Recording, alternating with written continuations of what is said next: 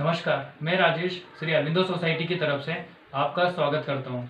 हम आपको शिक्षा में शून्य निवेश नवाचार कार्यक्रम जेड आई आई द्वारा संकलित रोचक नवाचार के बारे में हम आपको विस्तार से बताएँगे इस वीडियो में मैं आपको सरल भाषा अधिगम से संबंधित दादरा नगर हवेली के नवाचारी शिक्षकों द्वारा विकसित एक शून्य निवेश पर आधारित नवाचार बताने जा रहा हूँ, जिसका नाम है छात्रों की डायरी सबसे पहले मैं आपको ये जो केस स्टडी है इसके बारे में बताना चाहता हूँ।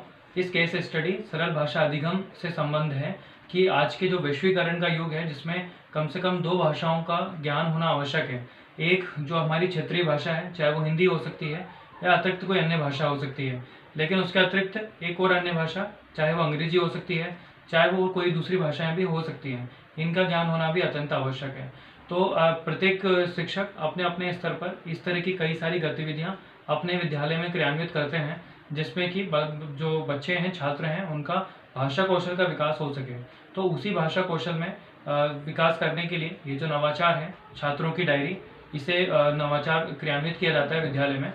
और नवाचारी शिक्षक इसे क्रियान्वित करने के लिए एक, कोई भी जो पाठ पढ़ाया हुआ होता है, जो भी गृह कार्य देना होता है तो गृह कार्य के लिए एक अलग से एक डायरी होती है, जिसको छात्रों की डायरी कहा जाता है।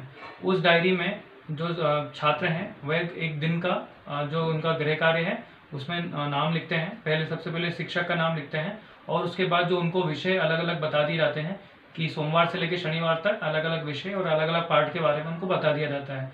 तो इससे जो छात्र, उनमें लिखने का कौशल भी विकसित होता है। साथ ही साथ में अगर वो कोई व्याकरण में कोई त्रुटि भी करते हैं तो एक दिन निश्चित कर लिया जाता है, जिसमें जो शिक्षक हैं, वो छात्रों की कॉपियाँ भी चेक करते हैं।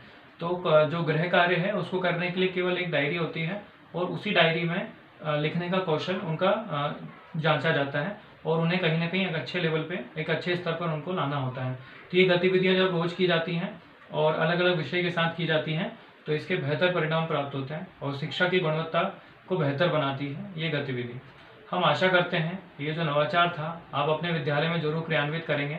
आपसे अनुरोध है कि आप जो यूट्यूब का चैनल है हमारा, उसे सब्सक्राइब करें।